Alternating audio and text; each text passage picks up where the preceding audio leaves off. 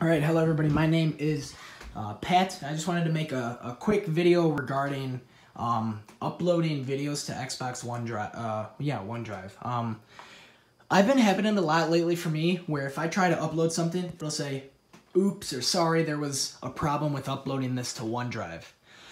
Um, I saw this video. I saw a video a couple of days ago saying that, oh yeah, download OneDrive onto your Xbox and then try from there. And that didn't work. I mean, that might work in some scenarios, but that did not work for me.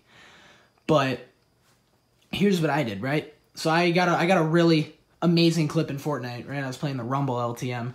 And I tried uploading. It's like, oh no, you, you we're not gonna we're not gonna upload this for you. So then I reset my Xbox. I'm like, maybe that'll fix it. So then I went and I uh, tried uploading it to OneDrive. I will. Oh, I think my controller just died. Did it?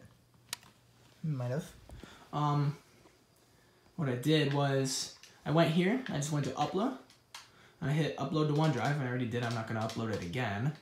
But if I pull up OneDrive here for you guys, I can show you maybe if it uploaded. It might have not uploaded immediately, but that is the thing. If if it says sorry, we cannot upload this clip to OneDrive, just close out everything, make sure all your apps are quit or you know quit it on your Xbox, and just restart the thing. And that that did that that does it. It did it for me.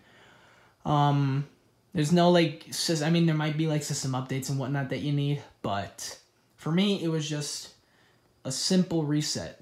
Yeah, I know my controller batteries are low. Let's see if we go to videos, Xbox game DVR. Here we go should be one from yesterday, which I had to edit in Upload Studio. And then this one right here. Perfect. So the most recent one is the one that worked. So yeah, it's just nothing a simple reset can't do on your Xbox to fix everything. So yeah, um, thanks for watching, guys. I'll see you later. Bye.